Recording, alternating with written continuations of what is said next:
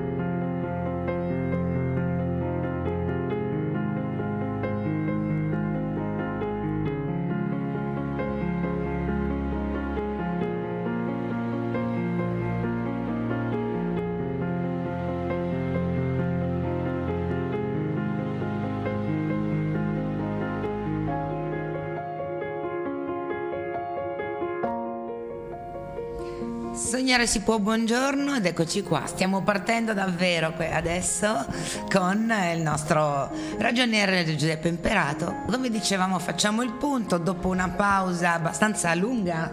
Buongiorno a tutti, una pausa abbastanza lunga, un po' causa ferie, ma anche causa riposo forzato, come dicevamo. Esatto. Perché sono, anche io mi sono fatto il Covid, quindi sono stato tutto il mese di settembre mm, in quarantena. Ecco, relegato. Delegata a casa, per cui Ecco, però adesso insomma siamo, in siamo, libera siamo di uscita. nuovo in, in pista. In certo. pista, assolutamente. Eh, com'è andata? Bene, nel Tutto senso sommato- che non ho, avuto, no, non ho avuto grosse complicazioni, quindi sono stato sempre a casa, quindi non, non ho avuto la necessità di recarmi in un nosocomio per eventuali eh, diciamo, aggravarsi della, della pa- della patologia, quindi diciamo che l'ho superata bene. Meno male, intanto quindi bentornato, meno male Grazie. che è andato tutto bene da quel punto di vista. E adesso invece siamo qua per, come dire, per Vorrei fare... annotare un po', comunque rip- ripet- ehm, partire dal punto dove ci eravamo lasciati prima delle ferie. Sì, Eh, dopo le ferie sì, c'è stato qualcosina, un pochettino, un pochettino di ripresa, però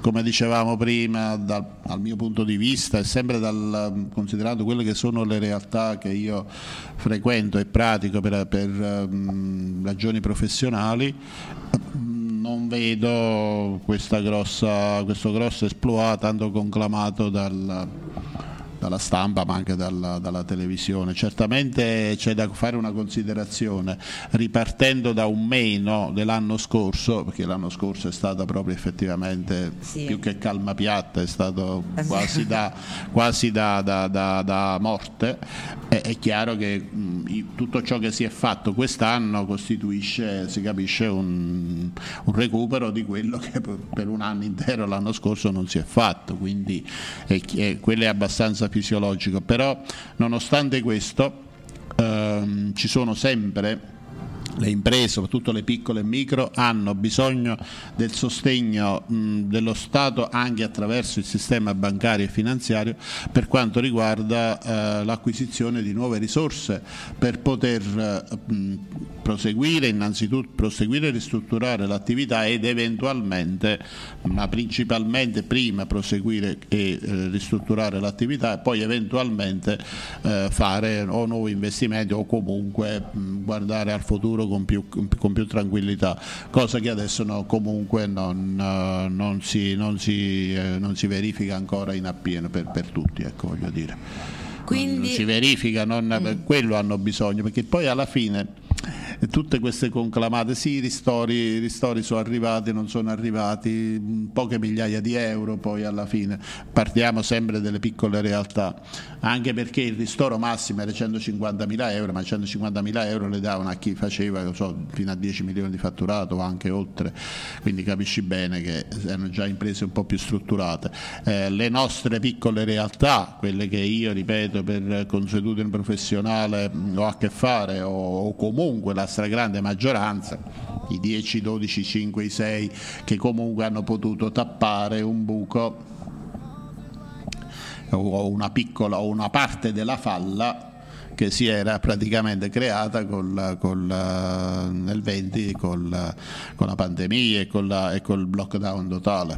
Quindi eh, quello che occorrerebbe alle imprese, che occorre che ancora non arriva è un supporto deciso e, dura, e continuativo da parte delle banche, del sistema finanziario che è garantito dallo, deve essere garantito dallo Stato. D'altra parte oggi qualsiasi finanziamento che una banca, una finanziaria qualunque fa è sempre garantito dal medio credito, non ci sono più gli enti di garanzia. Quindi lo Stato almeno non dai non so, un supporto più si dice, sostanzioso o comunque importante alle imprese, dai invece la garanzia, la possibilità di prestare questa garanzia che poi non si tratta di grosse cifre, c'è chi ha bisogno di 100.000, 50, chi, chi di 200 quindi sono cifre diciamo, abbastanza abbordabili per le piccole realtà che poi in realtà sono quelle che forse patiscono di più. Eh, sono, quelli, magari... sono quelli che patiscono, certamente fanno molta fatica, sì, qualcosa stanno facendo, ma molto poco perché comunque devono eh, riparare a una situazione di stallo totale del 2020. Io l'altro giorno ero da un'azienda, un mio cliente, c'era solo il titolare e l'impiegato, eh, in officina non lavoravano perché, eh, ripeto, hanno gli ordini, possono avere anche degli ordini in portafoglio, ma non hanno la, la, la, la potenza, la capacità di far finanziare, soprattutto perché le banche non gli danno ancora, non gli danno ancora una mano come dovrebbero. Ecco. Que- quello è il, Ed è quello poi punto. fondamentale perché ricominciare sì, però eh. devi avere anche gli strumenti per poterlo eh, beh, fare. Per forza, perché non, già, non, sono finiti i tempi in cui l'imprenditore, adesso anche chi ha delle risorse non, con la situazione attuale non li rischia in un'attività di impresa. L'attività di impresa è sempre comunque molto a rischio e molto aleatoria, soprattutto oggi e nel mercato sia nazionale, europeo ma anche mondiale, quindi certo. è una realtà molto aleatoria, quindi se gli stati, se lo Stato e gli stati non supportano le imprese sotto questo aspetto c'è, c'è, un, c'è una grossa defiance che non si sanerà mai, quindi ognuno qui poi in Italia mh, siamo più bravi degli altri paesi nell'arrangiarci, nel, nel, nel, capisci, nel mh, cercare di fare da soli o comunque arrabattarsi però è, sono pur sempre soluzioni provvisorie. E eh certo, anche perché insomma immagino che ognuno di noi vorrebbe una situazione serena, Più magari serena, di continuità, certo. per non essere proprio sempre lì come dici tu, ad arrattare. Poi entrando più, merito, entrando più, nel merito, questa diciamo, già situazione di incertezza o comunque di instabilità viene aggravata e comunque eh, dal fatto che aggravata, poi dipende dai soggetti che la subiscono e dalla loro sensibilità, eh, dal fatto che c'è un tipo uno stop and go della, del, dell'esattoria che dice allora dal 30 settembre cominceremo forse a, a incassare, poi casomai vedono che non è possibile, casomai cominciamo dal 30 ottobre, ma prima o poi arriverà diciamo, un, un, un, un, giorno, diciamo, un D-Day dove l'agenzia delle entrate comincerà a, diciamo, progressivamente a, eh, non dico a pignorare i conti, ma comunque a, a mandare comunque delle intimazioni che poi il, il, simpatico di queste intimazioni è che purtroppo le, le aziende, anche piccole, negli ultimi 7-8 anni, 5-6, ma, ma, diciamo dal 2016-17 in avanti, hanno accumulato anche a volte dei, dei cospicui debiti con l'Inps, con l'Agenzia delle Entrate e quant'altro e eh, l'intimazione prevede che tu al momento in cui ti manda il, la, questo atto ti alleghi un bollettino che può contenere una cifra di un euro ma anche una cifra di 10 milioni di euro, cioè l'assurdo è quello da pagare in 5 giorni. Questo è, questo è, l'assurdo e lo sanno tutti i piccoli. Quindi è chiaro che contro, se, se arriva, dovesse arrivarvi una lettera di questa, parte lo spavento iniziale, bisogna subito perché ci sono cinque giorni, andare in esattoria e fare la rateizzazione, almeno quella l'accettano, chiaramente, una volta non era così. Però eh, l'assurdo è quello, che dopo purtroppo una situazione così eh, brutta, precaria per tutte le aziende, eh, lo so che c'è la legittima aspettativa dello Stato di poter incassare dei soldi che comunque in questo periodo non ha incassato, però richiederli tutti subito o comunque con l'affanno di una rateazione diciamo, molto ravvicinata, molto breve, costituisce un ulteriore onere che le imprese non possono sopportare. Certamente. Senti, voglio salutare un po' di persone che ci stanno ascoltando, ovviamente un po' col cuore in mano, no? perché sai che io scherzando, quando parliamo di questo angolo, dico mai una gioia, no, perché mai. normalmente purtroppo eh, non ci sono quasi no. mai, non ci arrivano quasi mai delle informazioni che ci possano dare un po' di sostegno, un po' di conforto. Mediamente eh, no, non facciamo che purtroppo dare brutte notizie. Sì. Ciò nonostante io voglio mandare un saluto e un ringraziamento a tutte le persone che ci ascoltano e che ci ascolteranno, quindi voglio mandare un salutone grosso a Gabriella, alla nostra Gabriella eh, Rotirati e a tutti i, i nostri amici dell'angolo del confronto che sono tantissimi bellissimi. Poi voglio um, salutare Pino, Lucia Simonis, un'artista molto molto brava, eh, Fabio e ancora eh, Dolly, Albino, Caramazza, insomma tutte le persone che, come dico, che ringrazio, che ci seguono e che ci, stanno, eh, che ci ascolteranno in seguito perché questa puntata naturalmente sarà... No, spero che anche qualche volta, come ho detto, qualche volta intervengano anche in diretta per chiedere delle cose, delle precisazioni, perché diciamo che da quel punto, almeno io sono abbastanza vicino a queste piccole realtà, quindi ormai sono 40 anni, più di 40 anni, quindi ritengo di avere abbastanza, cioè, poi di queste situazioni a me giornalmente ne capitano tutte, quindi soprattutto sul fronte del, dell'esattoria, piuttosto che parlavamo prima della Soris o di altre, sì, che, guarda, purtroppo, che, purtroppo, adesso comunque, comunque, cominciano a, a, svegliarsi e ripeto, il termine, era, il, il, il termine sarebbe già scaduto il 30 settembre, però probabilmente arriveranno a fine anno, probabilmente faranno un'altra rottamazione delle cartelle, ma non sappiamo le modalità. Ritengo che obiettivamente si possa arrivare a fine anno però poi con l'onere che dal prossimo anno c'hai il vecchio, eh, ancorché po- si possa accedere, speriamo, a una rottamazione che però sia abbastanza un po' più eh, meno onerosa, un po' più snella rispetto a quella fatta due anni fa. Eh, però col, con l'intento almeno dovrebbe essere quello lo, l'obiettivo di mh, mm, che le banche, perché le banche adesso i soldi li hanno perché hanno ricevuto i soldi del recovery, quindi i soldi del recovery vengono gestiti poi sempre attraverso il sistema bancario, non è che ce li ha direttamente il governo tramite Banca Italia ovviamente. Quindi i soldi adesso le banche li hanno, però li danno a chi dicono loro. Sì, esatto. C'è anche da dire quello. C'è... Quindi basta che uno abbia, ma d'altra parte chi è che non zoppica dopo aver avuto più di un anno, quasi due anni di, di crisi profonda come questa? Tutte le imprese, loro malgrado, si trovano a dover essere sofferenti sotto il punto di vista finanziario e quindi molte volte questa, questa sofferenza genera anche delle segnalazioni critiche sul sistema bancario per cui sai, l'istituto di credito va coi piedi di piombo mm, o non te li concede del tutto. Certo.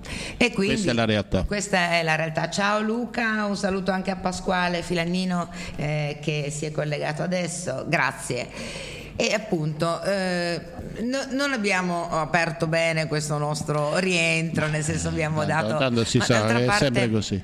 Come Questa dice- però è la vera realtà, non quella che raccontano, perché io sento a volte dice sì, l'Italia è ripartita, siamo in per carità, io non so se, eh, quali aziende usano per, mm, come aziende pilota per fare queste, queste statistiche, queste indagini. Io, ripeto, per quanto mi concerne non vedo ancora questo, ma anche altre realtà di, di colleghi che ugualmente seguono, perché noi, noi non è che seguiamo grosse, eh, comunque seguono queste, tutte queste piccole attività. Queste, cioè sì, la, perché la, la realtà di... è sempre eh, quella. Perché se non dobbiamo perché dimenticare che il 90% 95%, il 95% eh, dell'attività italiana è, è, quella svolta dalle piccole poi, imprese. Poi considera un'altra cosa, che le grosse aziende hanno delocalizzato tutto, eh? quindi come si fa a dire, cioè le grosse aziende italiane hanno delocalizzato le produzioni, non le fanno più in Italia, eh. in Italia fanno solo al massimo il montaggio è l'ultima parte, ma la produzione vera e propria della, della trasformazione della materia prima non fanno mica più in Italia.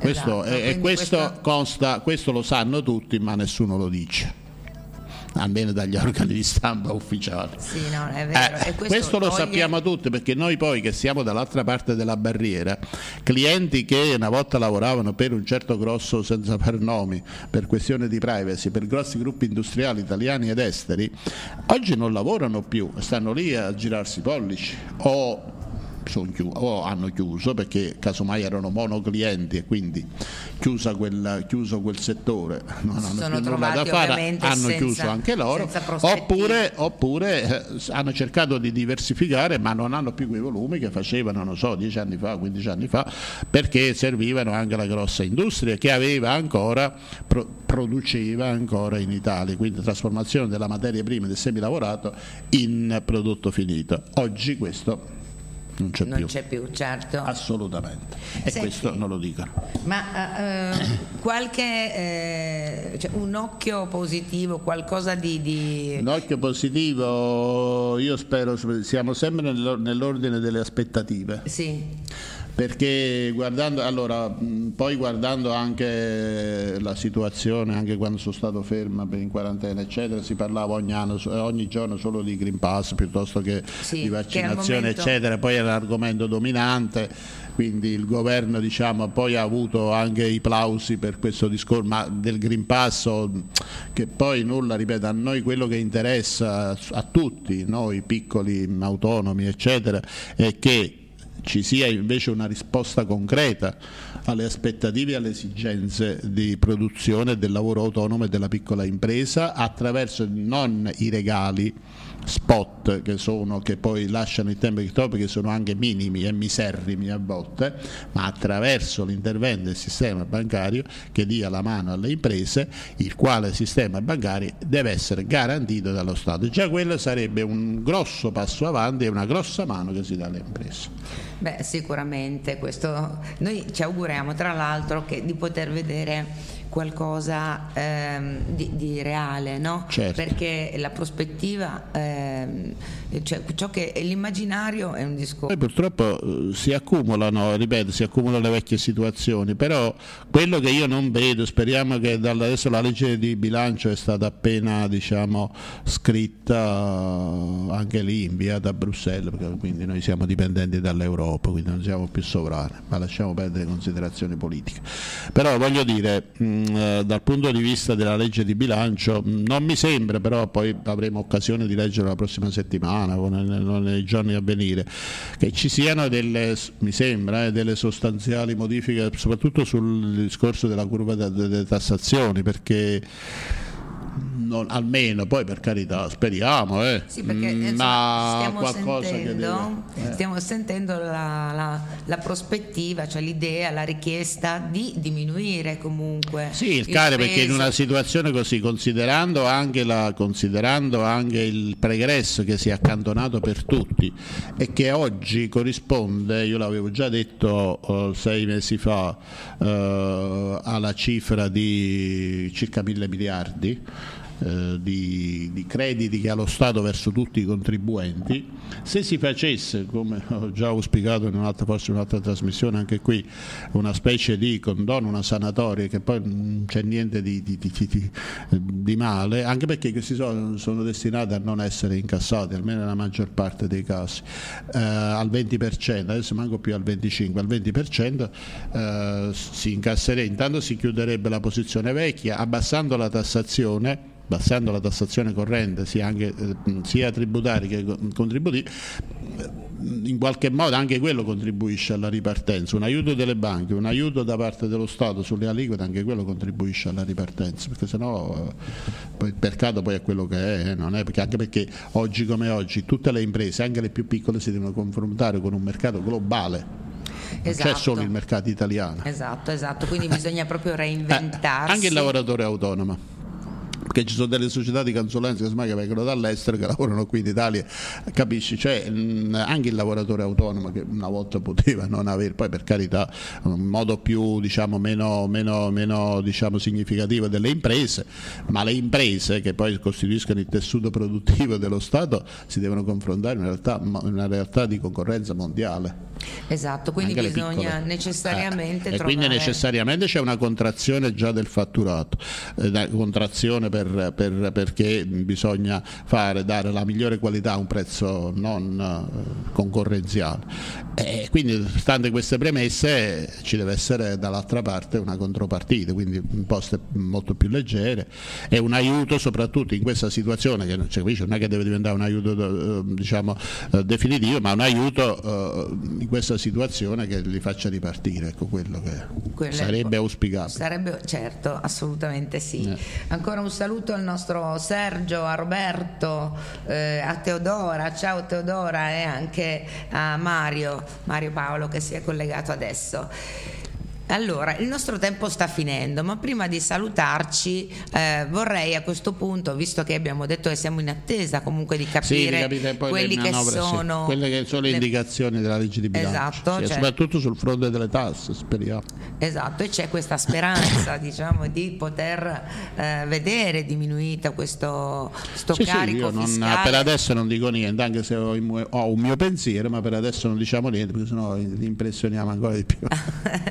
no, esatto, vediamo quindi a questo punto nel nostro prossimo Certo. appuntamento che cosa ci è stato eh, comunque ci- diciamo programmato, Programmato, speriamo che che cosa- venga poi approvato perché poi entro, entro fine anno deve, essere, deve essere promulgato in modo che entri in vigore al primo gennaio speriamo che ci siano almeno delle novità importanti Mm, ritengo l'unica cosa che forse sicuro è, sarà che fanno concederanno speriamo ancora ma penso di sì eh, una piccola diciamo dilazione per, eh, la- per l'incasso so- parliamo delle, dell'Equitalia e forse farà quello mi sembra che sia già abbastanza sicuro un discorso di rottamazione poi vediamo come. Delle cartelle vecchie fino ritengo fino alla data del 19 diciamo che allora a questo punto questo potrebbe, questo forse di sicuro, almeno questo eh, ci sarà inserito. Quello che ci auspichiamo che venga inserito una, quindi a- maggiori aiuti, soprattutto anche, anche soprattutto, eh, aiuti sosta- importanti per, per la. Noi, siamo, noi viaggiamo tra il 12 e il 13% di disoccupazione, so- eh, a livello giovanile siamo oltre il 20%, quindi degli- delle- delle- almeno dei, delle, diciamo, dei, dei mezzi che consentano anche eh, una- un ingresso al lavoro soprattutto dei ragazzi dei più giovani. E quindi dall'altra parte eh, si capisce agevolino anche la- i- i- le, le- fuoriuscite del, del personale ormai già che ha fatto non so, i 35-36 anni eccetera. Anche perché sennò non c'è, Non c'è ricambio non c'è ricambio e questi giovani restano sempre a carico dei genitori e quello, è- quello non, è, non, è, non, è, non è per, non è per niente bello anche perché c'è gente che ancora a 40 anni eh, non riesce ancora a trovare una stabile occupazione, quindi quello, quello sarebbe eh, soprattutto quello, poi non, non disgiunto dal fatto che bisogna diminuire le imposte e anche i contributi perché le aziende possono assumere eh, i giovani anche dandogli un, un giusto, una giusta ricompensa, non sfruttandoli, quello pure vero, ma una giusta ricompensa tenendo mh, presente il fatto che cioè, un giovane ha tutta la vita davanti, quindi può, eh, diciamo, può rifarsi in qualunque momento. Eh, non bisogna persistere in questo sistema di, perché molte volte le aziende non assumono perché situ- hanno dei contributi, cioè mh, gli danno 1000 euro e 500 euro vanno poi allo Stato. Diamo invece uno, uno, uno sgravio dei contributi, soprattutto per le assunzioni a tempo indeterminato dei giovani.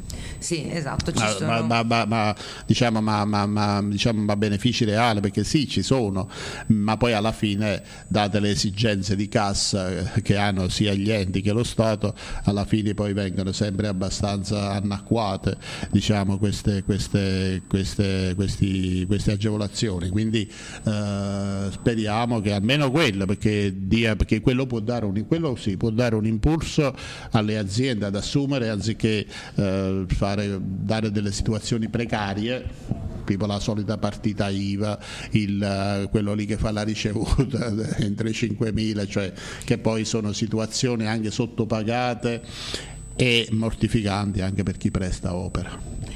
Bene, noi ci, ci auguriamo che, di, di, poter dare qualche Certo. informazione positiva eh, nel, nel nostro Noi prossimo ci- noi ce la mettiamo tutta, no? sì. di, poter dare, di poter cogliere Sì. mh, nelle, nelle, nelle novità in Però arrivo. se dovessero sorgere le problematiche, io invito anche i radioascoltatori a, a interpellarci, a interpellarmi in diretta quando faccio questa mezz'ora.